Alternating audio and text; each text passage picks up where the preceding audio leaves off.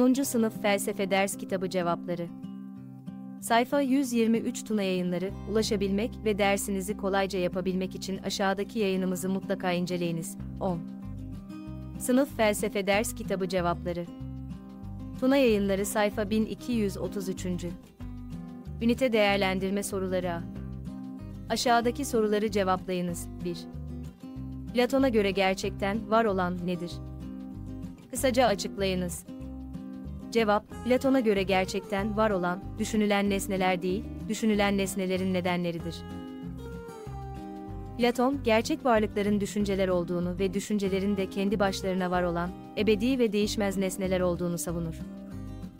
Bu nesneler, Platon'un formlar olarak adlandırdığı şeylerdir.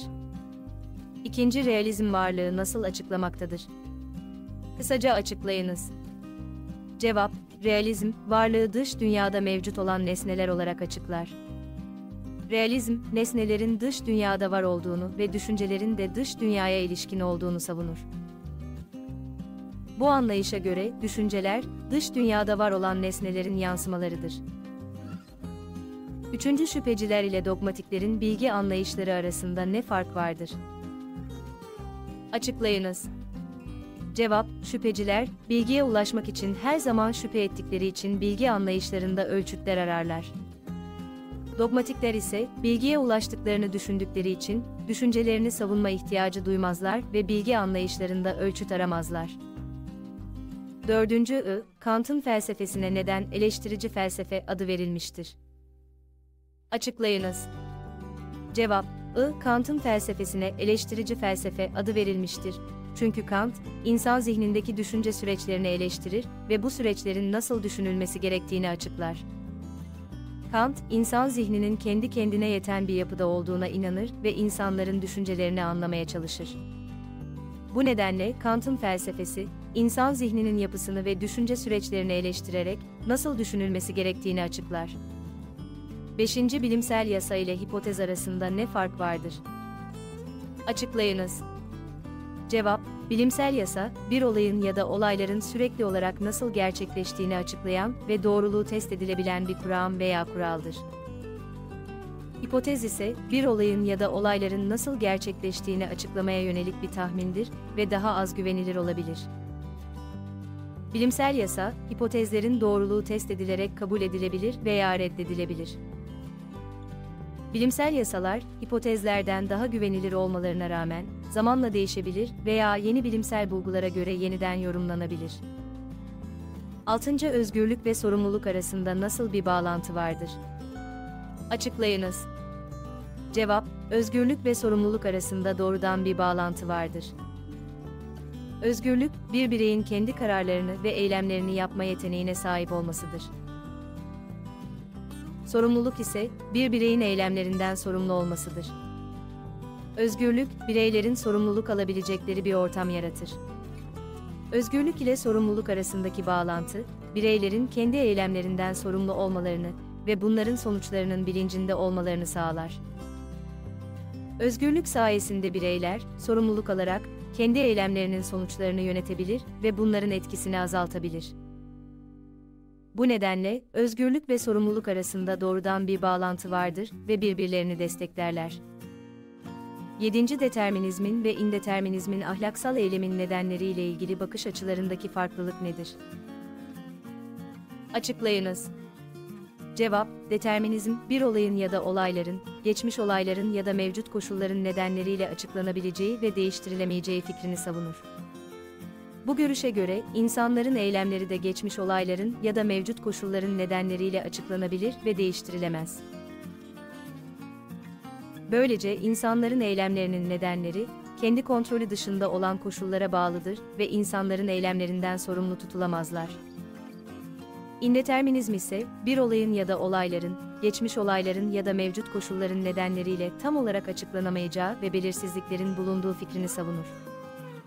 8. Teoloji ve din felsefesinin dini ele alışları arasındaki fark nedir? Açıklayınız.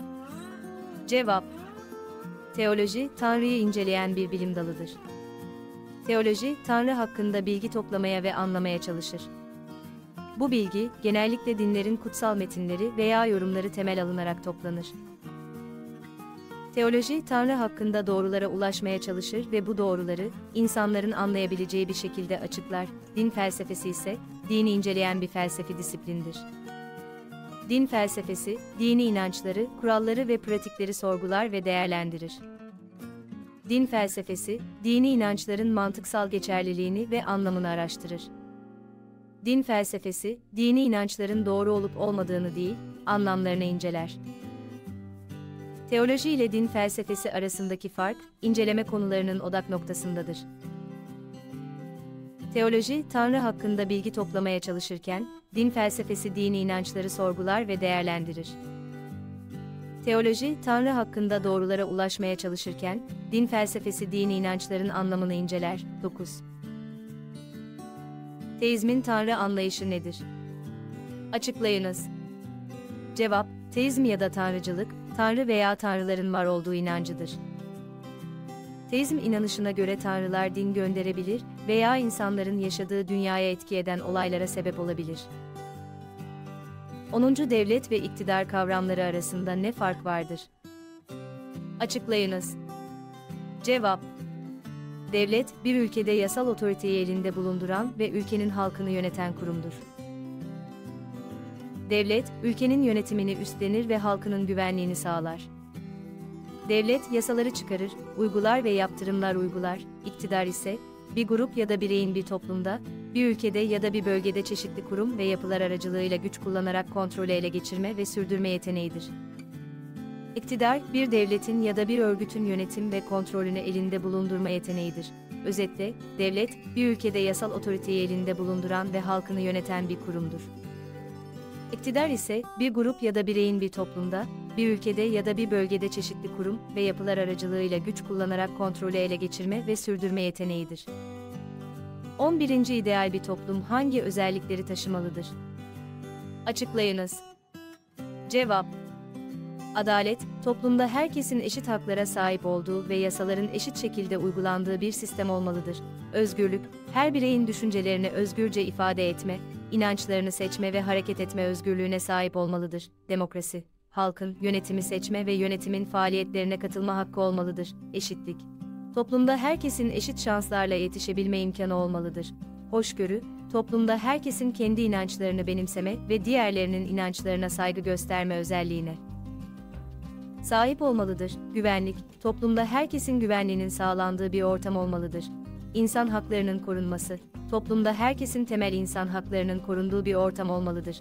Eğitim, toplumda herkesin eğitim alma hakkı olmalı ve eğitimin kalitesi yüksek olmalıdır. Sağlıklı yaşam koşulları, toplumda herkesin sağlıklı yaşam koşullarına sahip olma hakkı olmalıdır. Ekonomik istikrar, toplumda herkesin geçim koşullarının güvence altına alındığı bir ekonomik istikrar olmalıdır. 12. Doğada güzel ile sanatta güzel arasındaki fark nedir? Kısaca açıklayınız. Cevap Doğada güzel ile sanatta güzel arasındaki fark, insanların doğayı ve sanat eserlerini nasıl değerlendirdiğidir. Doğada güzellik genellikle doğal yapıların ve olayların estetik değerine işaret eder. Örneğin, bir manzara güzel olabilir veya bir gün batımı güzel olabilir. Bu tür güzellikler, doğal yapıların ve olayların kendi başlarına estetik değerlerine işaret eder, sanatta ise, güzellik genellikle sanat eserlerinin estetik değerine işaret eder. Sanat eserleri, insanların doğal olmayan yaratımlarıdır ve genellikle insanlar tarafından estetik değerlerine göre değerlendirilir. Örneğin, bir resim güzel olabilir veya bir şiir güzel olabilir. Bu tür güzellikler, sanat eserlerinin yaratıcıları tarafından insanların estetik değerlerine göre yaratılmış olmalarından kaynaklanır. Sonuç olarak, doğada güzel ile sanatta güzel arasındaki fark. Doğada güzelliklerin doğal yapıların ve olayların kendi başlarına estetik değerlerine işaret etmesiyle sanatta güzelliklerin insanların estetik değerlerine göre yaratılmış olmasıdır. 13. sanat eserinde bulunması gereken özellikler nelerdir? Sıralayınız. Cevap Sanat eseri kişiseldir. Yani o eseri ortaya koyan kişiden izler taşır. Sanat eseri yaratıcılık gerektirir. Sanat eseri estetik kaygıyla üretilir yani yarar amacı güdülmez. Estetik kaygılılık, sanat eseri özgündür. Yani eşsiz ve tektir. Yani bir daha eşi benzeri olmayandır. Orijinallik, sanat eseri kalıcıdır. Sanat eserinin bizde uyandırdığı haz hayatımıza etki edebilecek kadar kalıcıdır. Sanat eseri evrenseldir. Ortaya konan ürün tüm insanlığın ortak malıdır. B. Aşağıdaki ifadelerde noktalı yerleri verilen kavramlardan uygun olanlarıyla tamamlayınız. Kavramlara uygun ekler getirebilirsiniz. Birinci Farabi'ye göre yaratıcı varlık olan Tanrı mükemmeldir, mutlaktır, birdir, 2. Hegel varlık alanında idealizmin temsilcisidir. Üçüncü doğruluk bilginin bir özelliğidir, 4. Empirizme göre deneye dayanan bilgi doğrudur, 5. Bilimin insanlığın ortak mirası olması evrensel bir özellikte olduğunu gösterir, 6. Yasa bilimsel yöntem ile olaylar arasında ulaşılan değişmez neden-sonuç ilişkisidir, 7. İnsanın ahlaksal eylemlerinde iyiye yönelmesi erdemdir. 8. Hedonizm, ahlaksal eylemin amacının haz olduğunu savunan felsefedir. 9. Tanrı'nın varlığının ya da yokluğunun bilinemeyeceğini savunan görüş agnostisizmdir. 10. Tanrı ve evrenin aynı olduğunu savunan görüş panteizmdir. 11. Devletin iktidar gücünü kullanabilmesi egemenliktir. 12. Toplumda bireylerin yasalara bağlı beklentileri haktır. 13. Platon'a göre güzellik, iyi ideasına dayalıdır. 14. Sanat ve felsefenin ortak özelliklerinden biri öznel olmalarıdır. 10. Sınıf Tuna Matbaacılık Yayınları Felsefe Ders Kitabı Cevapları Sayfa 123 ile ilgili aşağıda bulunan emojileri kullanarak duygularınızı belirtebilir aynı zamanda sosyal medyada paylaşarak bizlere katkıda bulunabilirsiniz.